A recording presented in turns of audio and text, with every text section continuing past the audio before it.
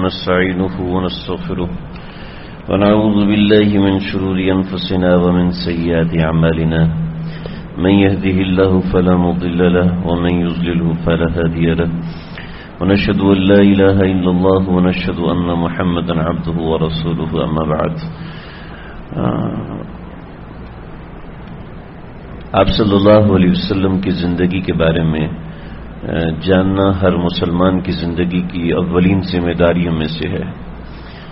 आप सल्लल्लाहु अलैहि वसल्लम की ज़िंदगी में क्या हुआ, क्या ऊंच हुई, क्या नीच हुई, क्या तकलीफ़ें आईं, क्या मुसीबतें आईं, क्या खुशियाँ आईं, कहाँ पर कोई मुकाबला पेश आया, कहाँ पर कोई तकलीफ़ पेश आई, कहाँ पर अपनों ने दगा दी, कहाँ पर गैरों ने तकलीफ़ पहुंचाई।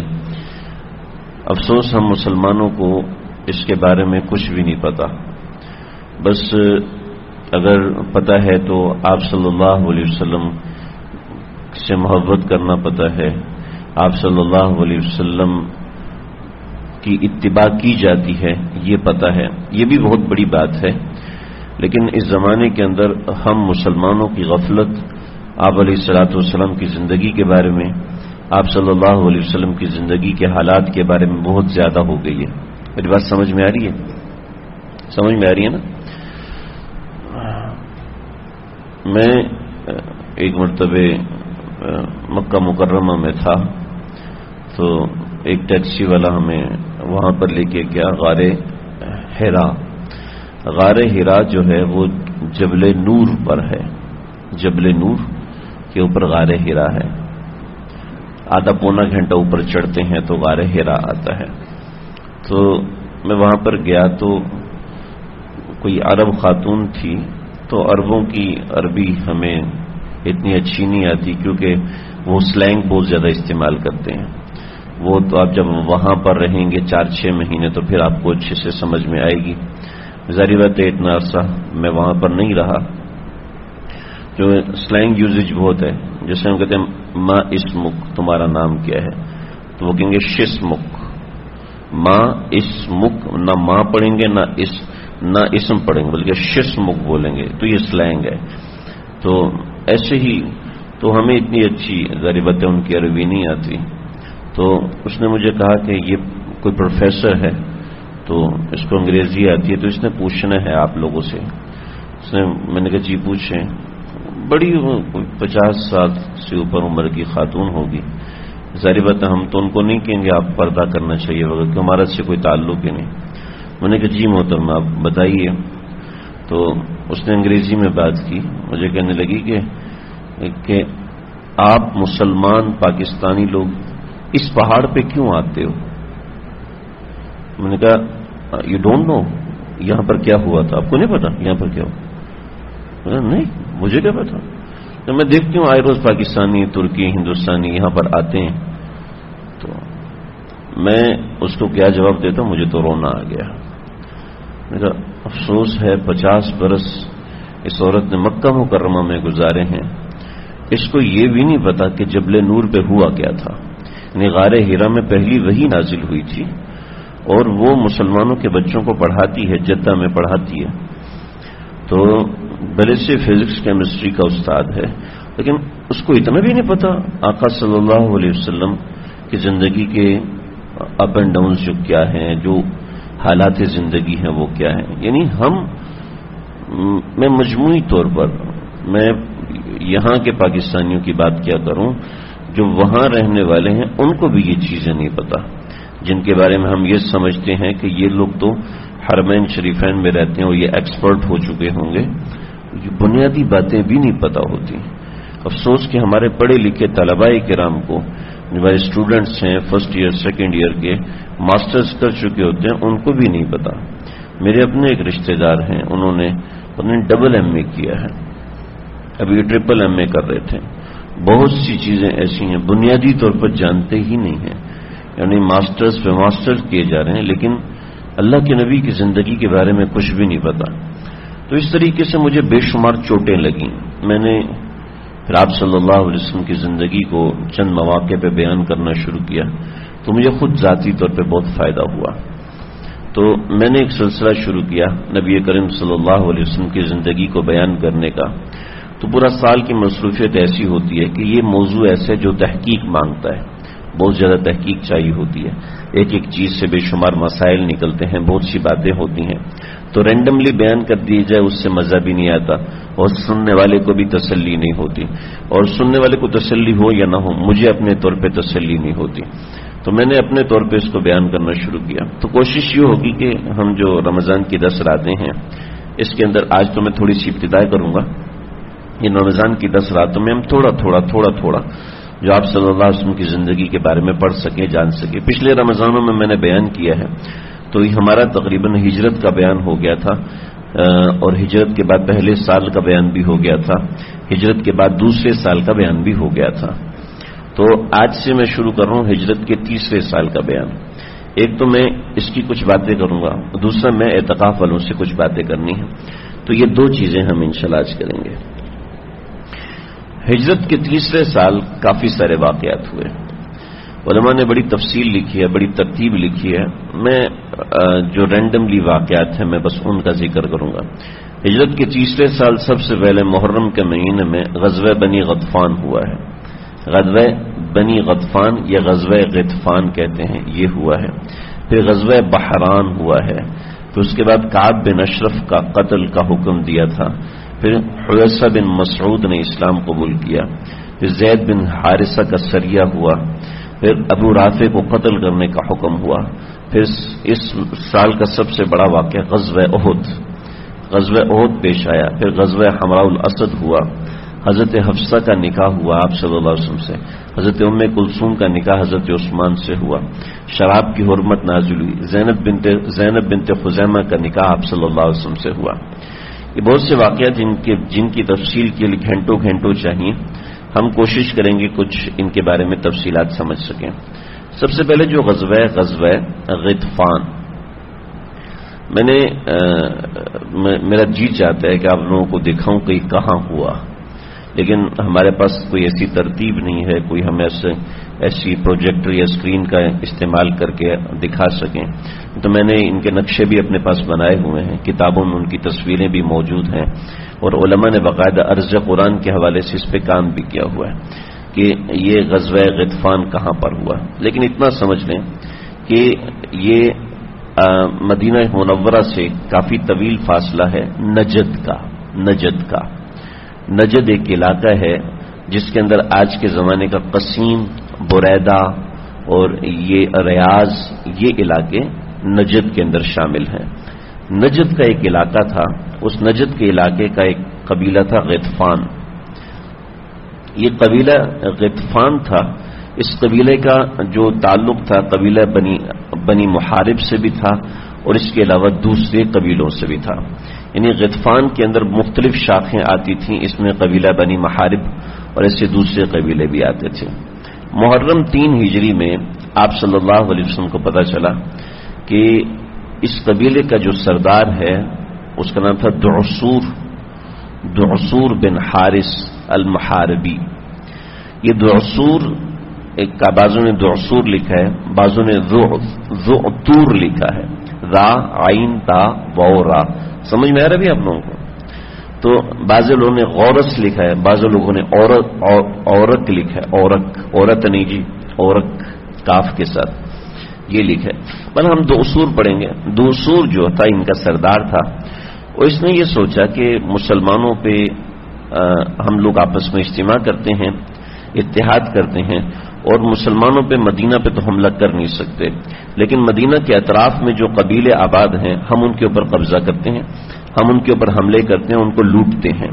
चाहिए एक तरीकाकार था इनका। आप सल्लल्लाहु अलैहि वसल्लम को जब पता चला तो देखें एक लीडर की, एक जो सरबरा और लीडर है, वो किस अंदाज से सोचता है, आप सल्लल्लाहु अलैहि वसल्लम ने उसी अंदाज में काम किया, जिस तरीके से एक लीडर को सोचना चाहिए। कि अपने दाएँ बाएँ के हालात से लीडर कभी भी गाफिल नहीं होता। और आने वाली जो मुश्किलात होती हैं, उन मुश्किलात से भी लीडर कभी भी गाफिल नहीं होता। चुनाचे आप सल्लल्लाहु अलैहि वसल्लम की पूरी प्लानिंग होती थी। हर चीज़ को एक तरतीब से चलाया करते थे। आप सल्लल्लाहु अलैहि वसल्लम ने भी यहाँ पर भी वही तरतीब दिखाई। आप सल्लल्लाहु अलैहि वसल्लम की ज़िंदगी के हर पहलू से हमें तरतीब निकलती हुई नज़र आती है। कोई काम आप सल्लल्लाहु अलैहि वसल्लम को बगैर तरतीब के नहीं होता था। आप हर काम में एक मैनेजमेंट रखते थे, एक तरतीब का लिहाज रखते थे और उसी तरतीब के मुताबिक चलते थे। आप जो एतकाफ बैठे हुए हैं और वो लोग जो एतकाफ नहीं बैठे हुए, अगर आप लोग अपना रमज़ान बगैर तरतीब दिए गुजार रहे हैं, अगर आप अपनी ज़िंदगी का निजामुल औकात नहीं बना पा रहे, रोज़मर्रा की ज़िंदगी के निजामुल औकात नहीं बना पा रहे तो समझ लें कि आप सुन्नत के मुताबिक ज़िंदगी नहीं गुजार रहे। अल्लाह रबुल्ज़त ने औकात को बड़ी अहमियत दी है, बड़ी अहमियत दी है। जिन चीज़ों से औकात बनते हैं, अल्लाह ने उसकी कस्में कही वल फजरी वलयालिन अशर, फजर के औकात। रमज़ान क्या है? रमज़ान एक महीने का नाम। महीना क्या होता है? एक वक्त, एक टाइम ड्यूरेशन का नाम है। रमज़ान इसी का तो नाम है।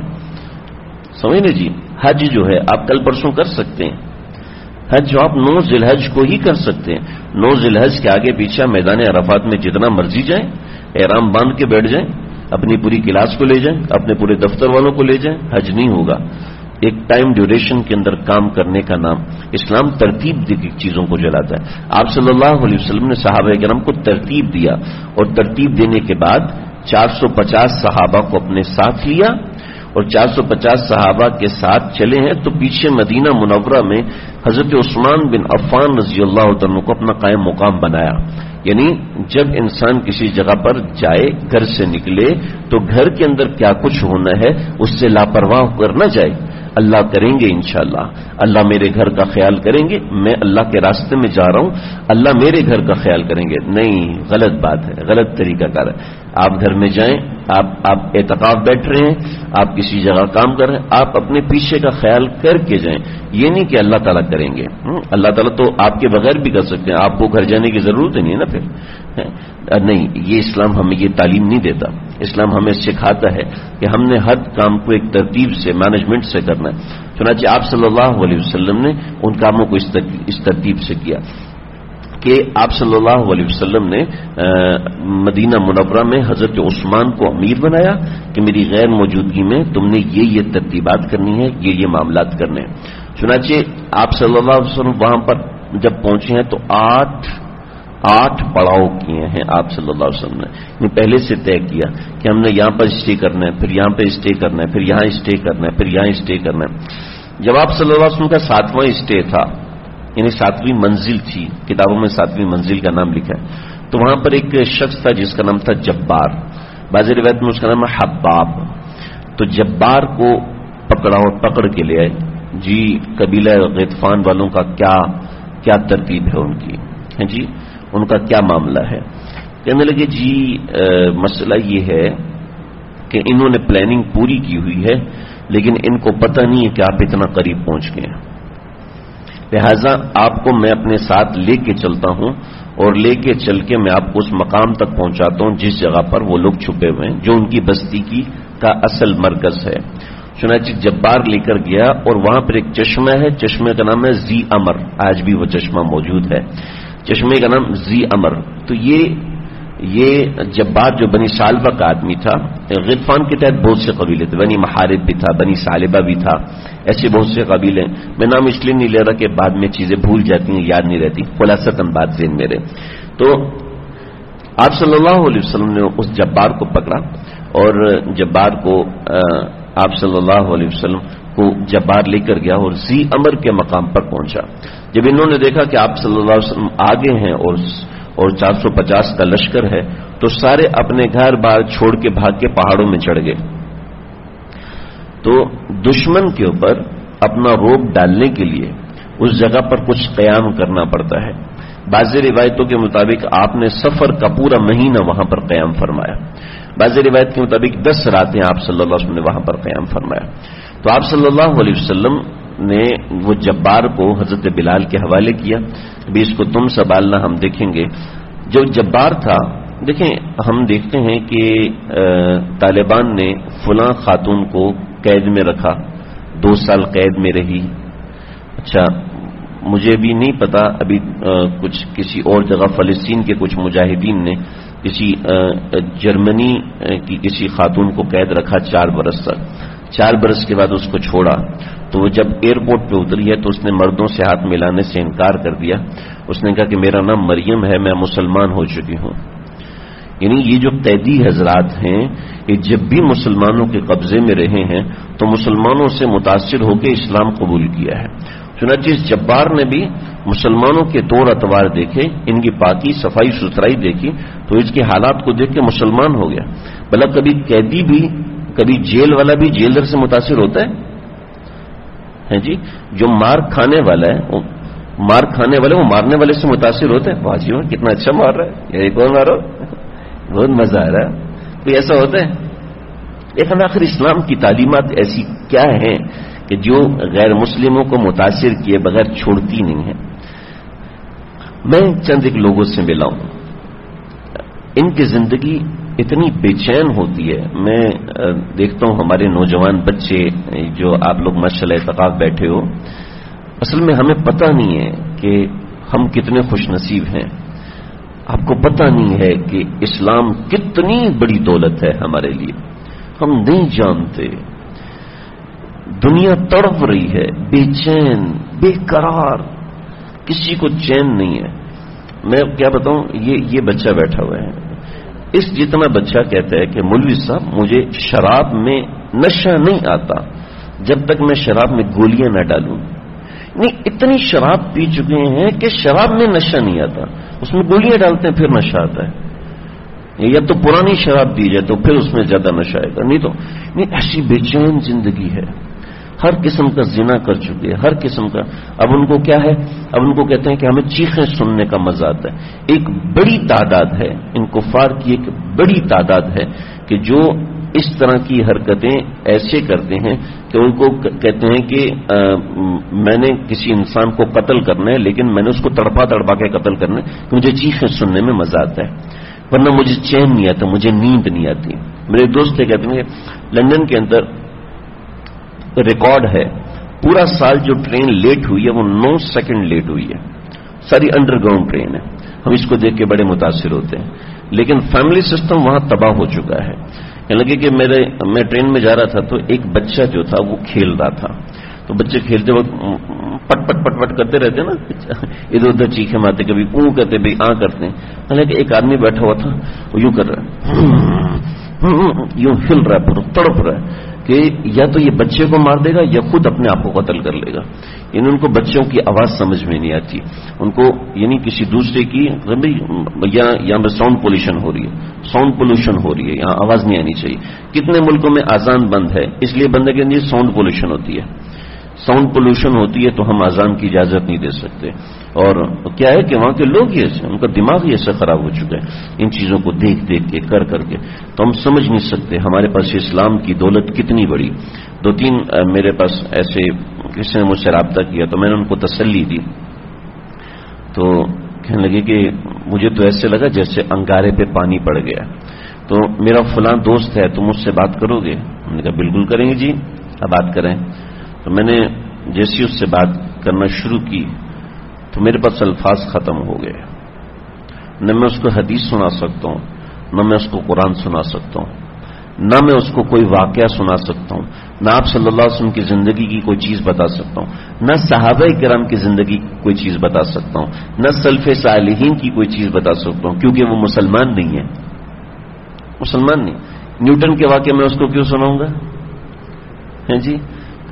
और ये ये जो शेक्सपियर है, ये मैं क्यों सुनाऊँगा? क्यों सुनाऊं मैं इनको शेक्सपियर जी, उसमें है क्या? उसमें क्या मिलता है आखिर? बस उसकी इधर उधर की कहानियाँ बना के ज़िंदगी के तजुर्बात बता के हमें ज़िंदगी के तजुर्बात के मुकल्लफ हाँ अच्छे वाक्यात लिखे शेक्सपियर ने, मैं उसका मना नहीं करता। मैं नहीं कहता उसने सब गलत लिखे है, मैं ये नहीं कह रहा। लेकिन हमारे लिए इबरत तो कुरान और हदीस और साहब करम की ज़िंदगी है ना।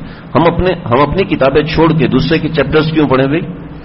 हम अपने अल्लाह के नबी और रसुल्ला वसल्लम की बातें छोड़कर मैं नहीं कह रहा हम दूसरे को नहीं पढ़ना चाहिए, लेकिन मैं कह रहा हूँ, हमारे पास इस्लाम बहुत बड़ी चीज़ है।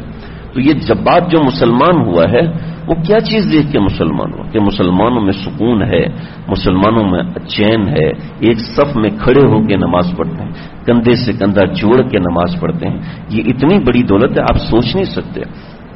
ये जो कोरोना ज़्यादा मशहूर किया जा रहा है, कि छूत छात बनाया जा रहा है, कसरत से बनाया जा रहा है। अपनी जगह पर सही है, लेकिन करीब एक इंसान दूसरे इंसान के करीब आता है, उससे जो उल्फत पैदा होती है आपको एक मज़े की बात बताऊँ? नाराज़ तो नहीं हो गया आप लोग? छोटा बच्चा, आप छोटे बच्चे को देखते हैं, आपको छोटे बच्चे को प्यार, को, के ऊपर प्यार आता है तो आप क्या करते हैं? उसके सर पे हाथ फेरेंगे। उसकी ठुड्डी पे हाथ लगाएँगे उसको उठा लेंगे। मुझे बताएँ इसके बगैर प्यार का इजहार कर सकते हैं आप लोग? जब भी मोहब्बत का इजहार होता है ना तो जिस्म की मुलाकात लगाने से होता है। माँ से मिलता है माँ सर पे हाथ फेरती है, है? बाप से मिलता है बाप गले मिलता है। जिस्म के करीब आने से मोहब्बत का इजहार होता है। जिस्म के करीब आने से मोहब्बत मोहब्बत टच होने से पता चलती है कितनी मोहब्बत है। बच्चा बीमार होता है तो माँ ज़ोर से उसको सीने से चिपकाती है। चिपकाती है क्या नहीं तो ये ये करीब रहने से इंसान को समझ में आता है। जब मुसलमान किसी मुसलमान के सर्कल में आता है तो उसका एक इंप्रेशन अलग बनता है। ये वो चीज़ है जो बताई नहीं जा सकती दिखाई नहीं जा सकती बस खुद समझी जा सकती है खुद समझी जाती है। सुनाचे वो आ, वो करीब आया और करीब आने की वजह से थोड़ी हेल्प कर दें भैया मदद करें। करीब आया और मुसलमानों के सर्कल में दाखिल हुआ, देखा कि मुसलमान कितने? जी जजाकल्ला जजाकल्ला मुसलमान कितने सुकून में है, कितने चैन में है, कितने इतमान में है, ये सब देखा और ये सब देखकर मुसलमान हो गया। समझ रहे जी? अच्छा आप सल्लल्लाहु अलैहि वसल्लम वहाँ पर बैठे हुए थे तो बड़ी ज़बरदस्त बारिश हुई। ऐसी खतरनाक बारिश हुई कि मुसलमानों को कहीं ओट में छुपने का मौका ही नहीं मिल सका। तो सब मुसलमानों के कपड़े गीले हो गए। सब मुसलमान तो आप सल्लल्लाहु अलैहि वसल्लम ने फरमाया कि भाई, ऐसा करो कि सब मुंतशिर हो जाओ और अपने अपने कपड़े उतार के सुखा लो। तो आप सल्लल्लाहु अलैहि वसल्लम ने भी अपने कपड़े उतारे और दरख्त पर टांगे। तो तलवार भी ऊपर बांधी हुई थी, जरा भी ऊपर बांधी हुई थी, वो सब चीज़ें ऊपर लगाई हुई थी। वो सब आप वसल्लम ने दफ्तर से दरख्त से लगाई और आप वसल्लम वहाँ पर आराम के लिए लेट गए और लेटे और सो गए। अब ये लोग तो उनका इलाका था। तो इन्होंने देखा कि आप सल्लल्लाहु अलैहि वसल्लम बिल्कुल अकेले हैं और आपके साथ कोई सहाबी नहीं है, कोई दूसरा नहीं है तो सब लोग बड़े खुश हुए और कहने लगे कि भाई, अगर आज कोई शख्स मोहम्मद सल्लल्लाहु अलैहि वसल्लम का काम तमाम कर दे तो हम तो अरब में सबसे ऊपर हो जाएँगे, सबसे मुमताज़ हो जाएँगे, हमसे मुकाबले करने वाला कोई भी नहीं रहेगा। सुनाची उन्होंने जो उनका सरदार था, जिसका नाम था दोसूर दोसूर से कहा कि अभी तुम जाओ। दोसूर ने कहा, जी, बिल्कुल मैं जाऊँगा। ये तो मेरा काम है, मैं इसको करके रहूँगा। तो दोसूर जो है, रास्ता देखा देखा देखा, हल्के हल्के पाँव रखता रखता रखता रखता, नबी अकरम सल्लल्लाहु के सर पे पहुँच गया। और आपकी तलवार लटकी हुई थी तो तलवार को निकाला। जब तलवार को निकाला तो आप वसल्लम की आँख खुल गई। ये बाजी रिवायत में कि दोसूर ने आप सल्लल्लाहु अलैहि वसल्लम को जगाया कि वहाँ पर दुश्मन के साथ भी ये मामला था कि सोए दुश्मन को नहीं मारते। गाफिल दुश्मन को मारना उनकी गैरत गैरत के खिलाफ था, बहादुरी के खिलाफ था। जब आप सल्लल्लाहु अलैहि वसल्लम जागे हैं तो दोसूर कहने लगा, मैं आसिमु का मिन्नी, अरे कौन है तुम्हें जो मुझसे बचाए? कोई है यहाँ पर? मैं साहब हम तो दूर थे कि कपड़े उतारे थे आप सल्लल्लाहु अलैहि वसल्लम ने तो आपका जिस्म मुबारक कोई जारी बात है हयात की वजह से नहीं देखना चाहता था और बारिश हुई थी ताज़ा ताज़ा। तो मैं आसिमु का मिन्नी और कौन बचाएगा मुझसे? तो आप सल्लल्लाहु अलैहि वसल्लम ने फ़ौरन फरमाया अल्लाह हम्म, तकबीर तो अब भी होती है मस्जिद की फिजा में ए अनवर जिस जरब से दिल हिल जाते थे वो जरब लगाना भूल गए।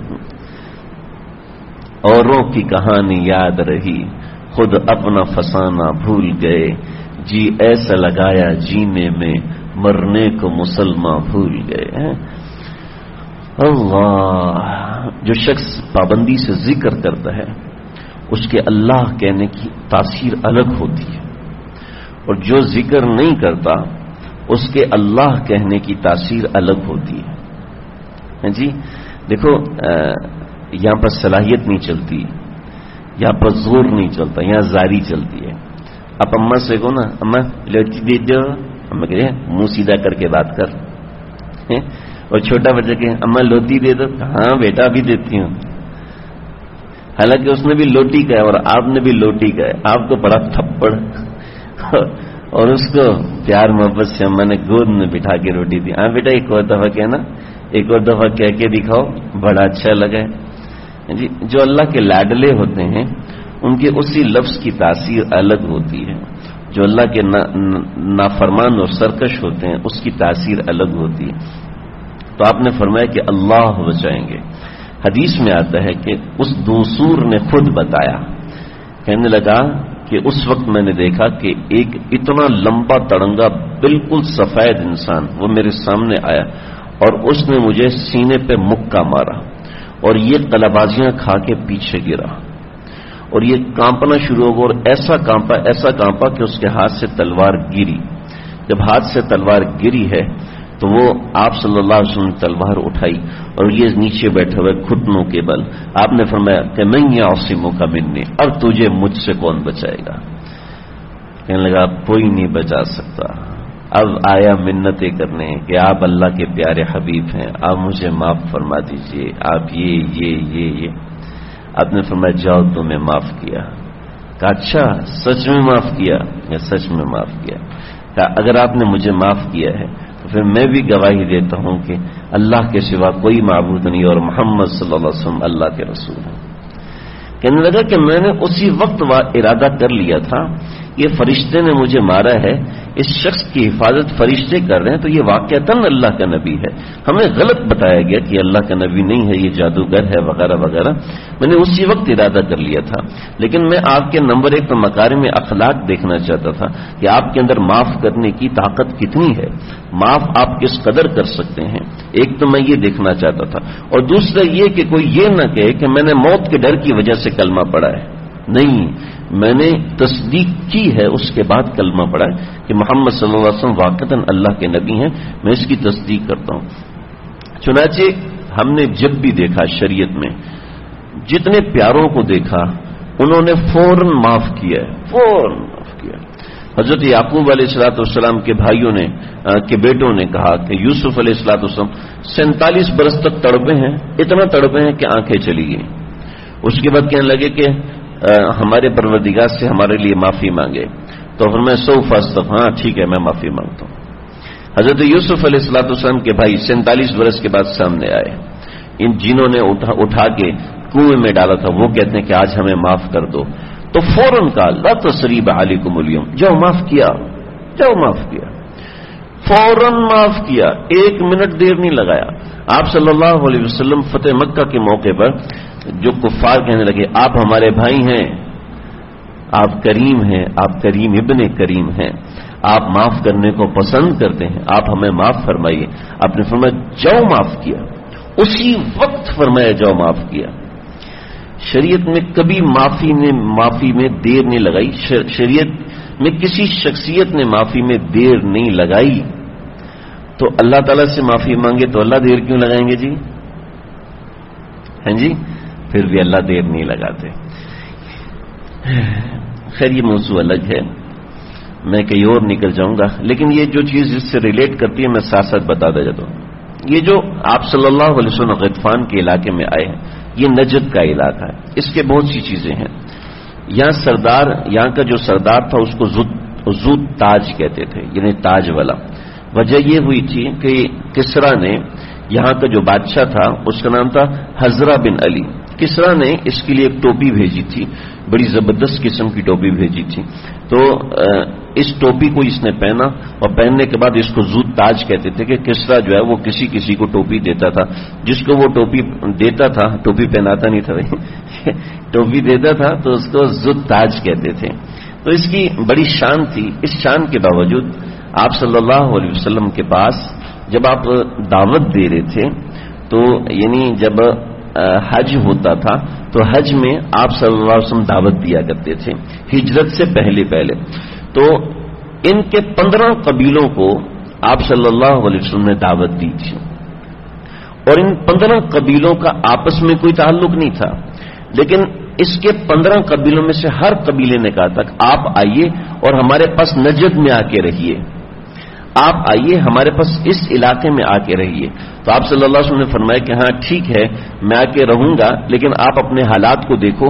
अगर वहाँ के हालात इसके मुआफिक हैं तो मैं बिल्कुल रहने को तैयार हूँ, मैं बिल्कुल साथ रहूँगा, वगरना मैं साथ नहीं रहूँगा। तो ये सारे लोग जब नजद वापस आए, इन्होंने आपस में मशवरा किया तो इनके आपस में तय हुआ कि हाँ वाक्यतन होना चाहिए। लेकिन इनका कबीला था एक बनो हनीफा। बनो हनीफा वालों ने कहा, नहीं नहीं नहीं, हरगिज नहीं।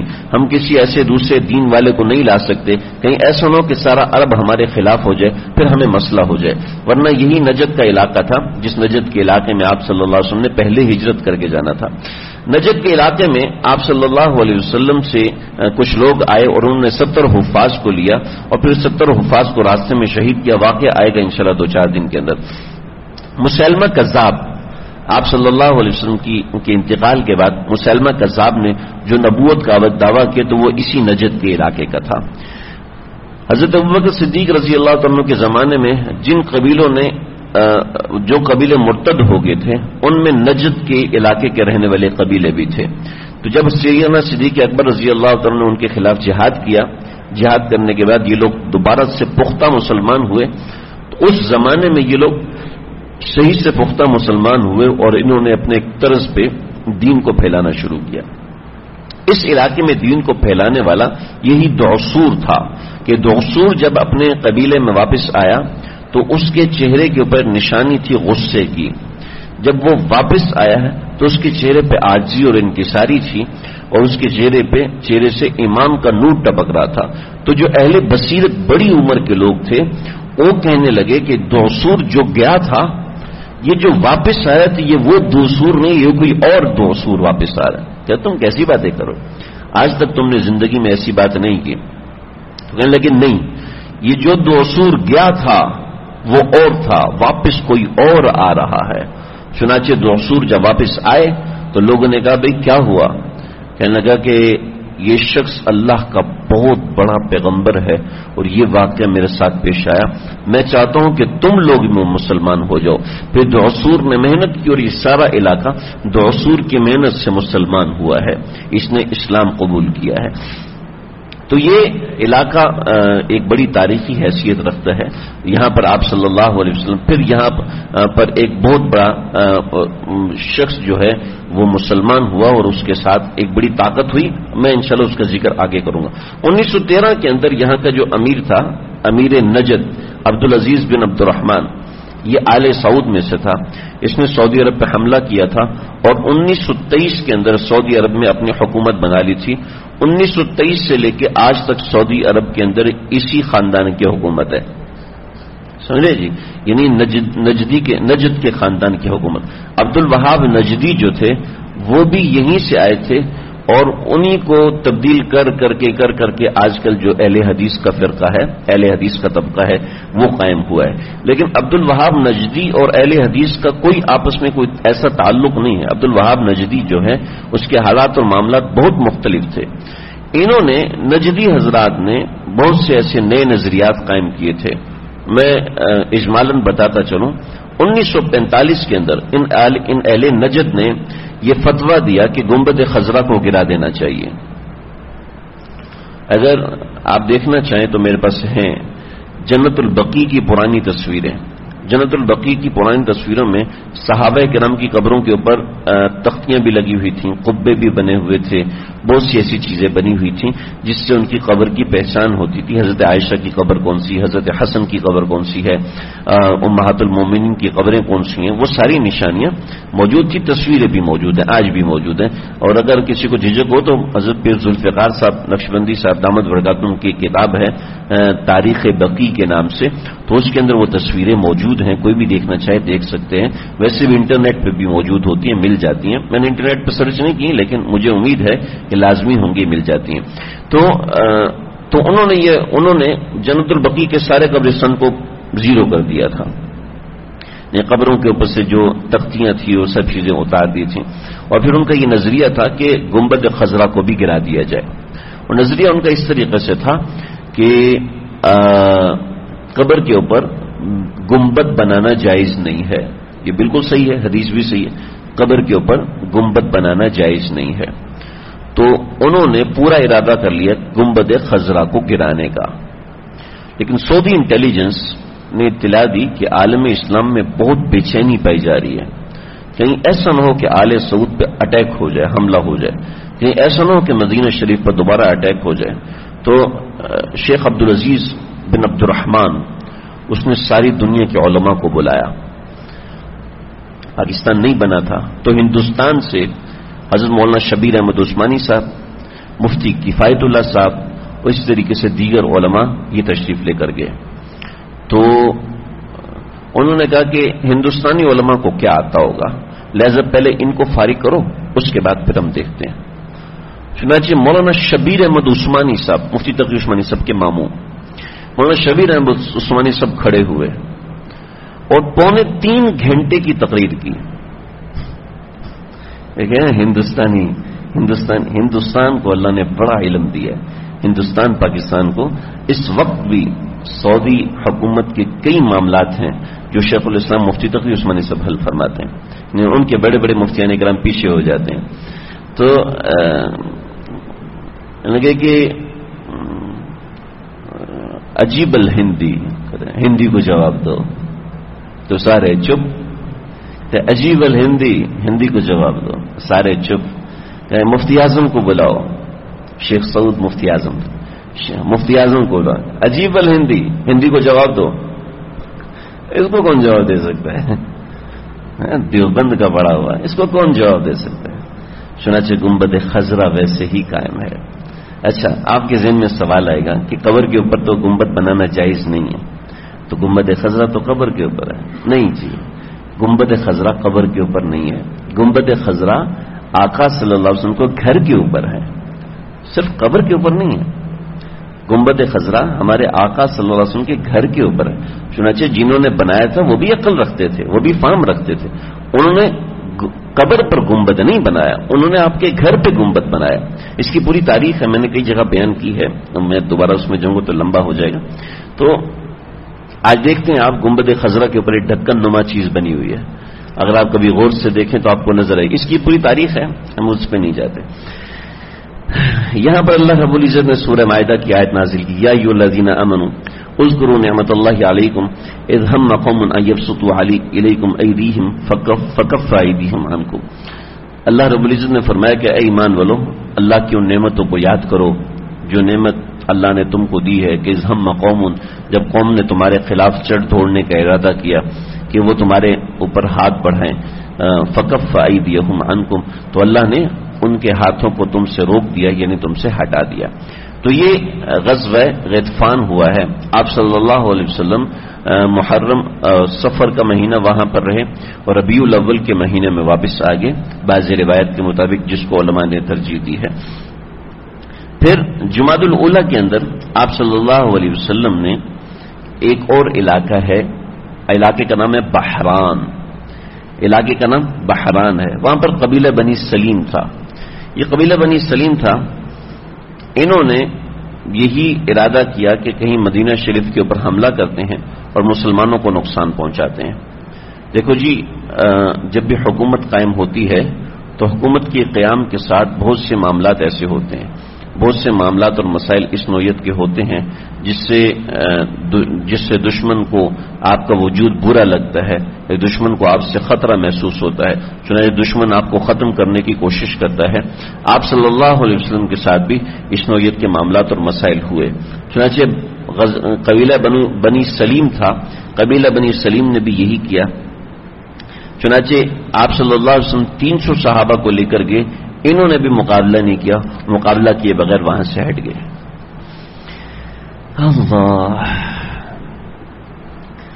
आप सल्लल्लाहु अलैहि वसल्लम की बेटी हैं हज़रत रुकैया। जब आप सल्लल्लाहु अलैहि वसल्लम गजब बदर में थे तो हज़रत रुकैया की तबीयत शदीद नासाज थी। गजब बदर तो इतफाकन हुआ था। बड़ी तफसील है, मैं उसको सुना चुका हूँ। तकरीबन डेढ़ घंटे का हमने बयान किया था यहाँ पर। तो गजब बदर के लिए, जब आप सल्लल्लाहु अलैहि वसल्लम निकले थे तो असल में तो एक काफिला था, उस काफिले के ऊपर हमला करना था, कोई गजबा बदर वगैरह नहीं होना था। तो आपने कहा कि उस्मान, तुम यहाँ पर रुक जाओ, हम जाके देख लेते हैं। तो तुम उम्मे तुम रुकैया के साथ रुकना। आप सल्लल्लाहु की बेटी का नाम क्या जी? रुकैया। बोर तो नहीं हो रहे आप लोग? हाँ जी? मसला तो नहीं? हाँ जी तो रुकैया बीमार हुई और गजब बदर के दिन उनका इंतकाल हो गया। तो हज़रत उस्मान बिन अफान रज़ी अल्लाह ने उनको दफन किया और दफन करने के बाद जब निकल रहे थे तो आप वसल्लम गजब बदर से वापस तशरीफ़ ला रहे थे। तो आप सल्लल्लाहु को जब बताया गया कि हज़रत रुकैया का इंतकाल हो गया है तो आप वसल्लम ने फरमाया कि ऐसे शख्स के लिए, ऐसी बच्ची के लिए जो कि ऐसी नेक और पारसा हो, कब्र उसके लिए बहुत ही अच्छा ठिकाना है, उसके पर्दे की जगह है, वगैरह वगैरह। आपने कुछ दुआया कलिमात उनके लिए बोले। हज़रत रुकैया और हज़रत उस्मान रज़ी अल्लाह तनो ये इन्होंने सबसे पहले हिजरत की थी। आप सल्लल्लाहु अलैहि वसल्लम ने फरमाया था कि मेरी उम्मत में हज़रत इब्राहिम जैसी हिजरत हज़रत उस्मान ने की है। हज़रत उस्मान, हज़रत इब्राहिम की जो हिजरत थी, हज़रत सारा के साथ, यानी अपनी अहलिया के साथ थी। ऐसी हज़रत उस्मान की हिजरत अपनी अहलिया हज़रत रुकैया के साथ है। तो हज़रत रुकैया के साथ मामला हुआ इंतकाल को एक बरस हो गया, यानी छह सात महीने हो चुके थे तो हज़रत उस्मान बहुत ज़्यादा परेशान रहते थे। तो एक दिन आप सल्लल्लाहु अलैहि वसल्लम ने पूछा कि उस्मान क्यों इतने परेशान हो? तो हर वक्त तुम्हें देखता हूँ कि तुम गमगीन रहते हो, दुख में रहते हो। तो कहने लगे कि यार रसोल्ला मैं क्या करूँ? मेरा आपके खानदान से ससुराली रिश्ता था और मेरी अहलिया के इंतकाल के बाद वो ससुराली रिश्ता खत्म हो गया। जो मेरा बच्चा हुआ था, इनका एक बेटा पैदा हुआ था, उनका नाम था अमर तो हज़रत उस्मान को इस वजह से अबू अमर कहते थे। तो तो ऐसा हुआ था इनका बच्चा था एक या डेढ़ साल का था तो एक मुर्गा वहाँ पर था। उसने बच्चे की आँख के अंदर चूच मारी। तो चूच में कुछ जहर लगा था या क्या था तो वो आँख थोड़े दिनों में मजीद खराब होती गई होती गई होती गई और बच्चे का कुछ दिनों के बाद इंतकाल हो गया। तो हज़रत उस्मान के बेटे का इंतकाल हो चुका था, लेकिन हज़रत उस्मान के उस बच्चे की वजह से हज़रत उस्मान को अबू अमर कहते थे, और हज़रत रुकैया का भी इंतकाल हो गया, यानी आपकी बेटी का भी इंतकाल हो गया, और आपके नवासे का भी इंतकाल हो गया। तो जो रिश्ता था, वो रिश्ता खत्म हो गया तो परेशान थे। तो एक दिन हज़रत उमर रज़ी अल्लाह तशरीफ़ लाए। हज़रत उमर रज़ी तशरीफ़ लाए, और हज़रत उस्मान से कहा कि, मेरी बेटी है हफ्सा। तुम उससे शादी कर लो। ये किस्सा मैं बाद में पूरा करूँगा, लेकिन अभी मैं उसका एक हिस्सा सुना रहा हूँ। तो हज़रत उस्मान ने कोई भी जवाब नहीं दिया। नीचे हज़रत हज़रत उमर तो उसूली आदमी था ना। उनको चढ़ गया गुस्सा। वो आप सल्लल्लाहु के पास आए, गया रसोल्ला ये उस्मान कैसा आदमी है? हर वक्त बीवी के लिए रोता रहता है, परेशान रहता है इसको पता नहीं क्या मामला है। अब मैंने कहा है कि मेरी बेटी हफ्सा जो है तुम मुझसे शादी कर लो। तो आप सल्लल्लाहु अलैहि वसल्लम मुस्कुराए। क्योंकि आप सल्लल्लाहु अलैहि वसल्लम ने इशारा दिया कि हफ्सा बेवा हुई हैं तो उनसे निकाह मैं करूँगा। तो हज़रत उमर को नहीं पता था। तो आप सल्लल्लाहु अलैहि वसल्लम मुस्कुराए। हज़रत हज़रत उस्मान बता नहीं सकते थे, क्योंकि वही का मामला है। अल्लाह अगर वही वापस ले ले, मना फरमा दे तो निकाह नहीं होता तो हज़रत उमर का दिल टूटेगा। तो अब देखें दूसरी तरफ़, शरीयत में कितनी सफ़ाई कितनी सफ़ाई।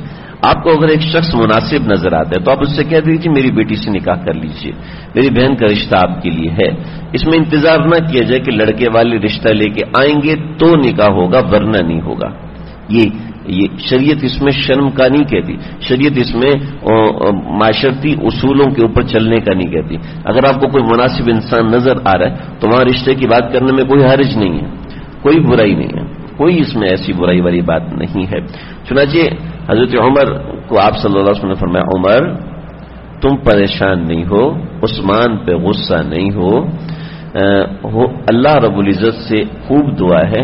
अल्लाह हफ्सा को उस्मान से अच्छा शोहर देंगे और अल्लाह उस्मान को हफ्सा से अच्छी बीवी देंगे। तो जैसे उमर परेशान हो गए। कहने मैं क्या करूँ? अल्लाह के नबी ये फरमा रहे हैं। मुझे तो समझ में नहीं आ रहा। फिर सिद्दीक अकबर से भी कहा कि मेरी बेटी हफ्सा है तो मुझसे निकाह कर लो।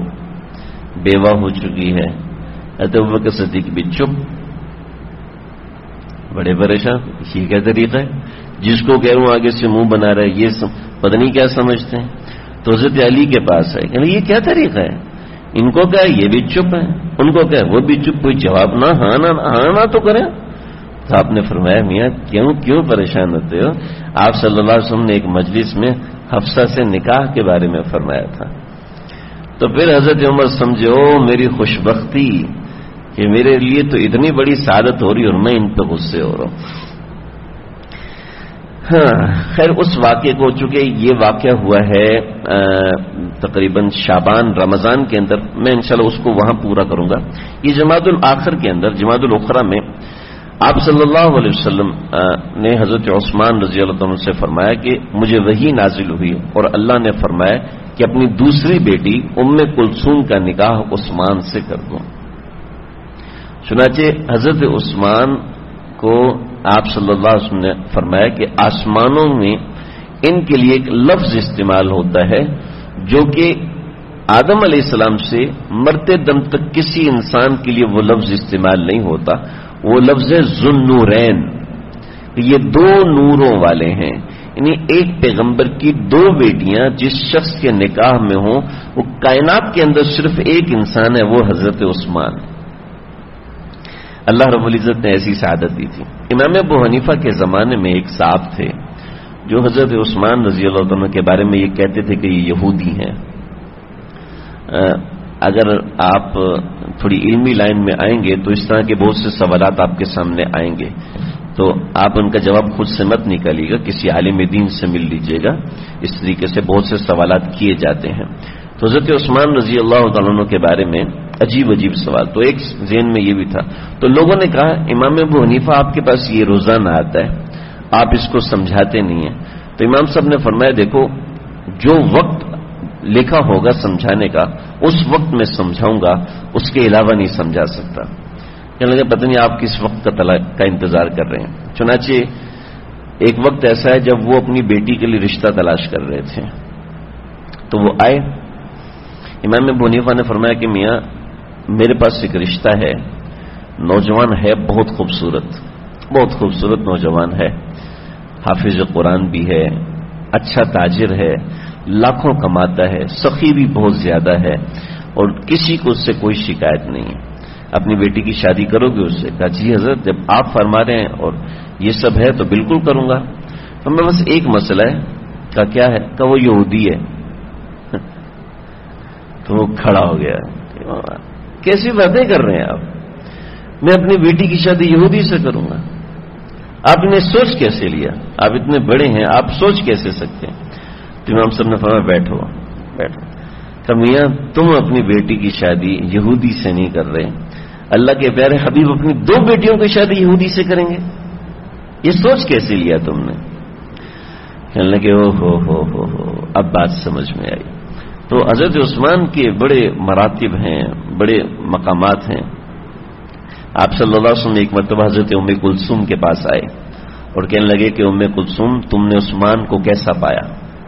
तो हज़रत उम्म कुलसुम कहने लगी या रसुल्ला मैंने ऐसा बेहतरीन इंसान कहीं नहीं देखा। ऐसा बेहतरीन शख्स मैंने कहीं नहीं देखा। देखो आ, ये सिर्फ़ हज़रत उस्मान के मरातब में से नहीं है। जितनी उम्मातुलमोमिन जितनी खातन सहाबियात हैं, उनकी ज़िंदगी में जब उनके शोहर के बारे में पूछा गया तो उन्होंने यही जुमले इस्तेमाल किए। हमारी खातन को सिवाय शिकवा करने की और कुछ नहीं आता। यकीन कीजिए और कुछ नहीं आता। अगर सौ बातें करेंगी तो नब्बे बातें शिकवे की होती हैं। शोर से नाराज़गी की होती हैं। किसी न किसी पैराए में किसी न किसी दर्जे में हमारी खातन अपने शोहरों के बारे में कुछ गलत जुमला, नाशुक्री का जुमला कह जाती हैं। आप सल्लल्लाहु ने फरमाया कि, ए औरतों, जहन्नम में कसरत की, कसरत से तादाद औरतों की होगी। पूछा रसुल्ला क्यों? आपने फरमाया कि कि अपने शोहर की नाशुक्री होती हैं।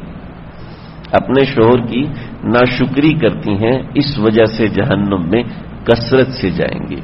तो आप वसल्लम ने फरमाया कि कैसा पाया? फरमाने लगी, ऐसा पाया। तो आपने फरमाया, क्यों ना ऐसा हो? क्योंकि क्योंकि फरमाया कि तुम्हारे दादा हज़रत इब्राहिम और तुम्हारे बाप मोहम्मद सल्लल्लाहु अलैहि वसल्लम, इन दोनों के सबसे ज़्यादा मुशाबे उस्मान हैं। उस्मान इन दोनों के सबसे ज़्यादा मुशाबे। और फिर फरमाया कि अल्लाह रबुल्जत ने हज़रत यूसुफ के हुसन में से कुछ हिस्सा हज़रत उस्मान को अता फरमाया। फिर फरमाया कि फरिश्ते इतना हया नहीं करते जितना हया उस्मान करते हैं। जितना हया उस्मान के मिजाज में है, इससे इतना हया फरिश्तों के पास भी नहीं है। तो बहरल बहुत सी बातें फिर आज जब हज़रत उम कुलसुम का इंतकाल हुआ तो आपने फरमाया कि उस्मान मेरी अगर तीसरी बेटी होती तो वो भी मैं तेरे निकाह में दे देता। फिर फरमाया कि अगर मेरी चालीस बेटियाँ भी होती तो मैं रख लेता एक एक करके तुम्हारे निकाह में दे देता, यहाँ तक कि वो सब खत्म हो जाती। यानी आप सल्लल्लाहु अलैहि वसल्लम की तवज्जो अपने सहाबा के ऊपर ऐसी थी, और सहाबा की जाने सारी अपने प्यारे पैगंबर के ऊपर ऐसी थी। तो ये निकाह हुआ हज़रत उम कुलसुम का, इन्हीं दिनों में हुआ। कुछ छोटे से मनाकिब मैंने ज़िक्र किए। उसके बाद ऐसा हुआ कि मुसलमानों ने कुफार के काफिले पे हमला किया। ये बात ऐसी है जो खास तौर पे आप जो स्कूल, कॉलेज के पढ़ने वाले लड़के हैं, आपको समझना बहुत ज़रूरी है। हो सकता है आपके सामने कभी इस तरह का पेचा ना पड़ा हो, लेकिन आपको पता होना चाहिए। ईमान का ईमान का तकाजा भी है, पता होना चाहिए। गजवा सरिया जैद बिन हारिसा ये भी इसके बाद हुआ है, यानी तीसरी सदी हिजरी में हुआ है। सरिया जैद बिन हारिसा जमादुल उखरा में ही हुआ है। जब हज़रत उस्मान का हज़रत उम्म कुलसुम से निकाह हुआ है तो उसके साथ ये सरिया भी हुआ। सरिया किसे कहते हैं? सरिया उसे कहते हैं जो लेंटर में डलता है। यही होता है? नहीं नहीं। सरिया लेंटर में डलने वाला नहीं होता है।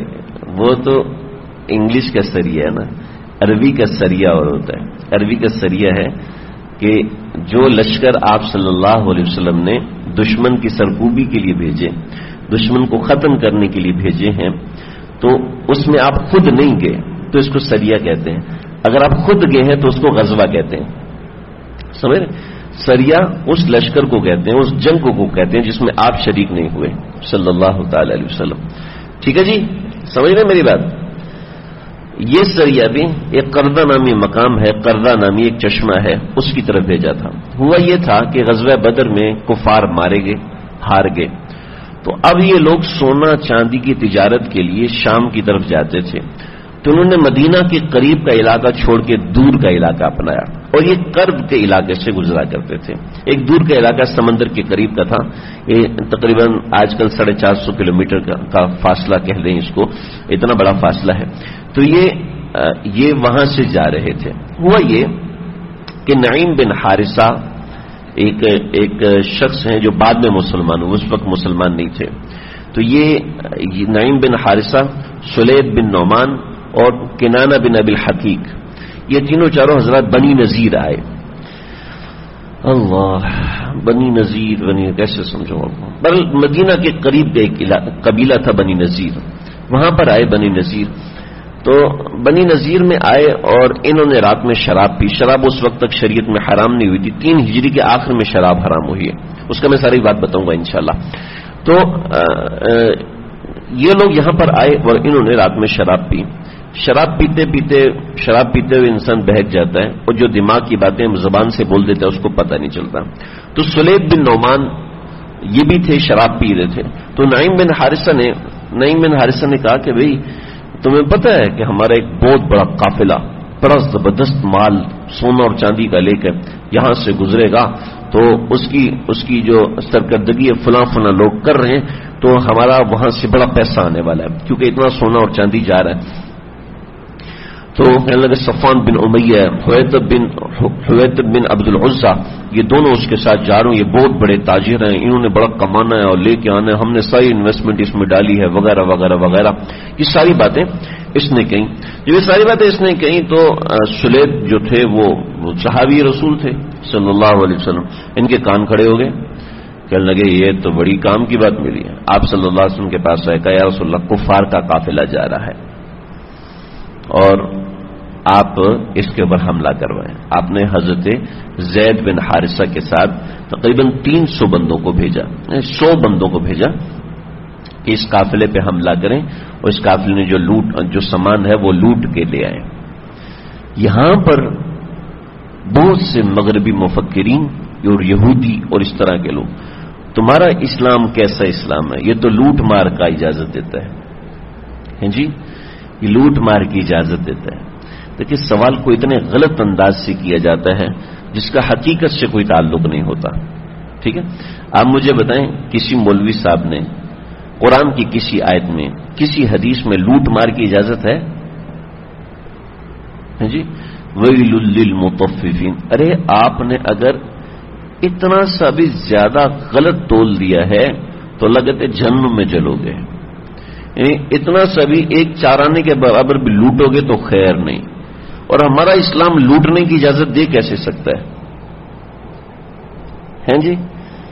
और यहाँ पर आप सल्लम लूटने भेज रहे हैं तो इसका मतलब बस पीस ऑफ़ इंफॉर्मेशन कुछ मिसिंग है, जिसको कुफार इस्तेमाल कर रहे हैं। समझ रहे जी? देखो पुलिस आती है और बंदे को उठा के ले जाती है। उसको आप क्या कहते हैं? अगवा कहते हैं, गिरफ़्तार करना कहते हैं। अगवा कहते हैं? ये गिरफ़्तार करना कहते हैं। इसने भी तो ज़बरदस्ती उठाया और अगवा करने वाला भी ज़बरदस्ती उठा रहा होता है। तो इसको समझिए जरा। जो दुश्मन के माल पर अटैक करके उस पर कब्जा करना और है, और एक आम आदमी के माल के ऊपर कब्जा करना, उसको लूट मार और डाका कहते हैं, और इसको लूट मार और डाका नहीं कहते, इसको जंग की तैयारी करना कहते हैं। समझ रहे जी? इसको जंग की तैयारी करना कहते हैं। लिहाजा लिहाजा आप सल्लल्लाहु अलैहि वसल्लम ने जो काम किया है, वो जंग की तैयारी है। वो अपने दुश्मन को कमज़ोर करना है। और जंग की तैयारी में दुश्मन को दुश्मन को कमज़ोर करना है कि नहीं? जी, अमेरिकन इतनी दूर से हमारे पास लड़ने आ रहे हैं उनको खाना तो खिलाएँगे ना। उन्हें हमारे बच्चों को मारने आ रहे हैं, कहीं भूखे ना मर जाए। हैं? हमारी बच्चियों को, हमारी बच्चियों को बेवा करने आ रहे हैं तो उनको खाना तो खिलाना चाहिए। इस्लाम हमें तालीम देता है। ये तालीम देता है। बुद्धू नहीं है हम। बेवकूफ़ नहीं है कि जो आप हमें पढ़ाएँगे, हम पढ़ लेंगे। जो कुफार हमें सिखाएँगे, हम सीख लेंगे। इस्लाम हमें पढ़ना, लिखना सिखाता है। इस्लाम हमें बुद्धू बनना नहीं सिखाता। दुश्मन अगर आया है तो उसको नुकसान पहुंचाओ। पहुँचाने का हुक्म है। हाँ, वो आपके सामने हाथ फैला रहे हाँ। अब हाथ हाथ बढ़ाओ। अब उसको तबलीग भी करो, अब उसको दावत भी दो। और पहले हुक्म है, पहले हुक्म है, अब उसको तबलीग करो। हत्या के एक मौके पर हज़रत माविया रज़ी अल्लाह ने देखा कि दुश्मन नरगे में आने वाला है, दुश्मन पे अटैक किया, पूरे शहर पे कब्जा कर लिया। पूरे शहर पे कब्जा। करोड़ों की दौलत आई है, सामने रखी हुई है। हज़रत उमर बिन खत्ताब रज़ी अल्लाह के पास एक बंदा जाता है। कहता है कि हज़रत माविया ने हमें कमज़ोर देखा, गाफिल देखा। रात में हम लोग सोए हुए थे। और इन्होंने हमारे ऊपर अटैक कर दिया। इन्होंने हमें दावत नहीं दी। नंबर एक, दावत नहीं दी। नंबर दो, धमकी भी नहीं दी। इस्लाम जब, मुसलमान जब अटैक करते हैं तो सबसे पहले दावत दे देखो, असलिम तस्लिम, मुसलमान हो जाओ और भी चले जाएँगे। कुछ भी नहीं करेंगे। नंबर एक। नंबर दो, अगर नहीं होना, कोई बात नहीं। आप हमें टैक्स दो। आप हमें, हमारे साथ मुआदा करो और हमें आप इतना टैक्स दो, हम आपको कुछ भी नहीं कहेंगे। आप हिफाजत में रहोगे, हमारी हिफाजत में रहोगे अगर नहीं ये भी करना तो आओ, फिर हम तुमसे मुकाबला करेंगे। और भी टर्मिनोलॉजीज हैं, लेकिन मैं बुनियादी तौर पर बात बता रहा हूँ। हज़रत उमर रज़ी के पास आए, ना इसने दावत दी है, और ना इसने धमकी दी है डायरेक्ट अटैक किया। तो हज़रत उमर ने खत लिखा, पूछो, एक आमिल मुकर किया, हज़रत माविया को कटेरे में ले आओ, सिपाही सालार को कटेरे में लेके आए। हाँ जी, दावत दी थी का दावत देता तो ये लोग होशियार हो जाते। और हमने किसी एक बंदे का खून नहीं बहाया। हमने किसी एक बंदे की कोई चीज़ नहीं छीनी। हमने दावत नहीं दी, लेकिन हमने किसी पे ज़बरदस्ती भी नहीं की। क्या सीधी सीधी बात कर दावत दी थी क्या नहीं दी थी? जिजिए का बोला था, धमकी दी थी क्या वो भी नहीं दी थी? का शहर खाली करो। हज़ारों लाखों की फौज शहर से बाहर निकल जाओ। कोई ज़रूरत नहीं हमें इस ज़मीन के ऊपर कब्जा करने की, जो शरीयत के खिलाफ हो। जी हाँ, जो शख्स अभी हमारा दुश्मन बना नहीं है, हम उससे एक रुपया नहीं ले सकते। और हमारी हमारी तारीख गवाह है कि साहब ग्राम ने शहर के शहर छोड़े सिर्फ़ साहबा नहीं, और भी बड़ी तारीख है हमारी। तो तो ऐसा कैसे हो सकता है कि लूट मार का हुक्म दिया जाए? चुनाचे हकीकत को समझना। बहुत से लोग ऐसे होते हैं। बहुत से तुर्की की, तुर्की से एक इथिस्ट खातून ने मुझे फ़ोन किया। पैंतालीस मिनट उसने मुझे जिच करके रख दिया। हिला के रख दिया मुझे कि तुम्हारे मोहम्मद तुम्हारे मोहम्मद, तुम्हारे ऐसी उसने बातें की मुझसे। तो वो अल्लाह का शुक्र है कि मैंने कुछ सीरत की चीज़ें पढ़ी हुई थी, जो मैंने उनको समझाई। लेकिन इतना पंप किया है कि तुम्हारे तुम्हारे पैगंबर तो लूटने का हुक्म देते हैं। तुम्हारे पैगंबर तो बच्चियों की छोटी उम्र में शादी करने का हुक्म देते हैं। तुम्हारे एक उसने मुझसे सवाल किया, आप किसकी सीरत पढ़ने की बात करें? वो जिसने छह बरस की उम्र की बच्ची से शादी कर ली थी। हाँ आपसे सवाल करें तो क्या जवाब दोगे? हमारे प्यारे पैगंबर हैं। इल्मी तौर पे हम कुछ भी नहीं है। बड़े बड़ों से पूछो, सब ठुस, कुछ भी नहीं आता। जब चीज़ें पता नहीं होंगी तो हम आगे दिफा क्या करेंगे? कभी इस बारे में सोचा, कभी इस बारे में फ़िक्र की। मैंने उनसे कहा कि सबसे पहले तो आप अपना अदद सही करें। छह बरस की उम्र नहीं, नौ बरस की उम्र में निकाह हुआ था। समझ रहे? दूसरा, हज़रत आयशा की ज़िंदगी को आप जानती हैं? असल में उसको ना अंग्रेज़ी आती थी, ना उर्दू आती थी। ठीक। वो टूटी फूटी जो आती थी, उसमें समझा रहा था। वो समझाने की कोशिश की। समझाया, काफ़ी देर समझाया। तो मैंने कहा कि मुझे सिर्फ़ इतना बताएँ, असल में ये हकीकत है कि जब वो बालिग हुई थी, फिर रुखसती हुई थी, निकाह उससे पहले हुआ था। निकाह निकाह होने में क्या मसला है? और रुखसती हुई थी, बकिया सब मामला तो रुखसती के बाद हुए थे। लेकिन एक बात, एक मसला हज़रत आयशा सिद्दीका रज़ी अल्लाह के वालिद, हज़रत अबुबकर सिद्दीक और उनकी वालिदा उम रोमान उनको कोई मसला नहीं। आपको क्या मसला है? समझ में आ रही है बात? उनको कोई मसला ही नहीं है। वो खुश हो रहे हैं और आपको मसला है।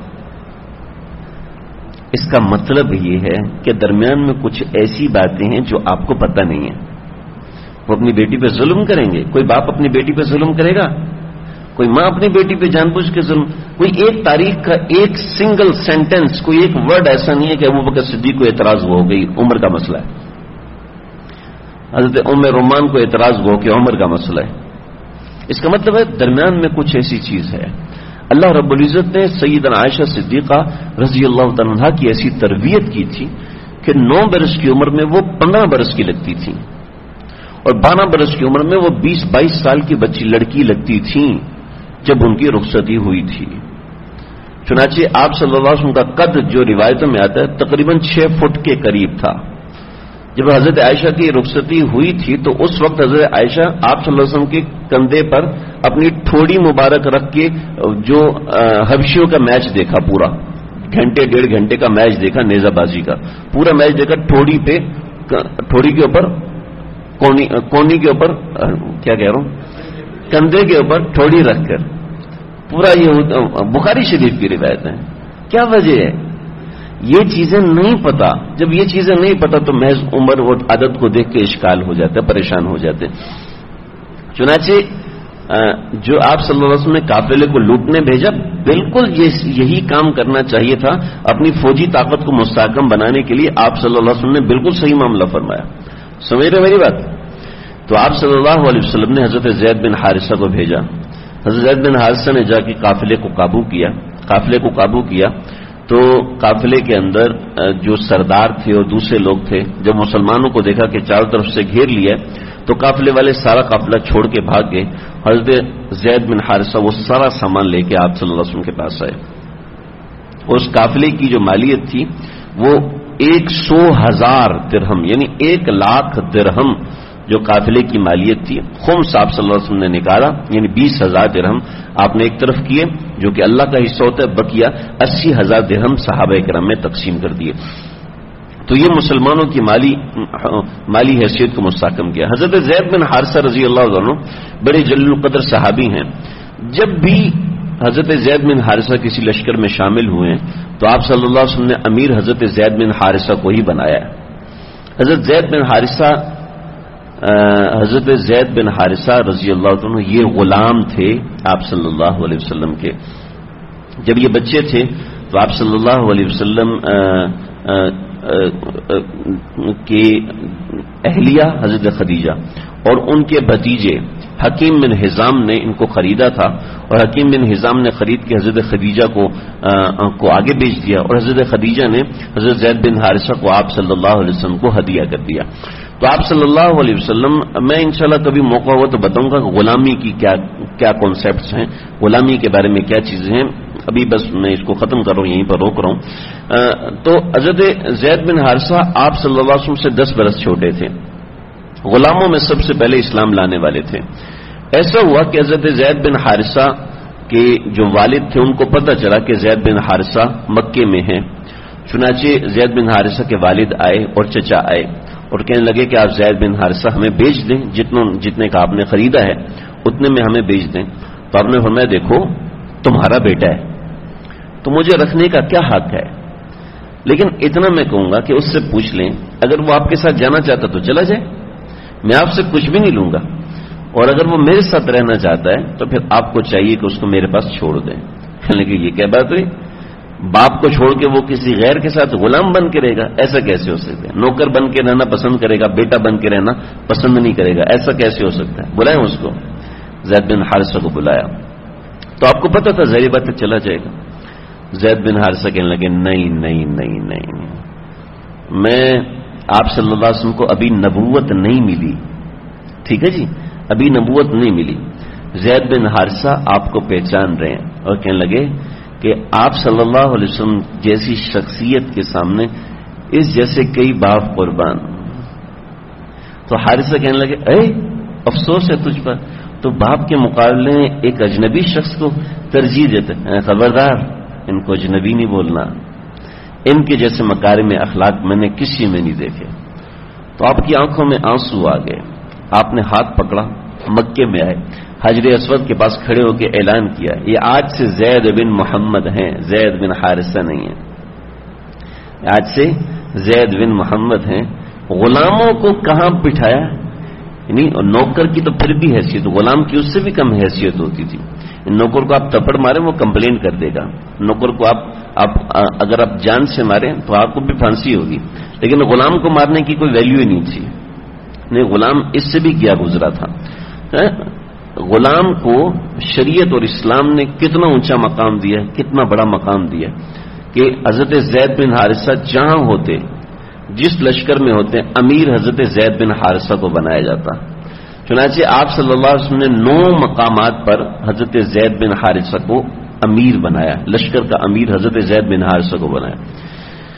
जंग बदर से लेकर जंग मूता तक तमाम जंगों में शरीक हुए। गजब मुरैसे में आप वसल्लम ने हज़रत जैद बिन हारिसा को अपनी जगह पर मदीना में अपना कायम मुकाम मुकर फरमाया।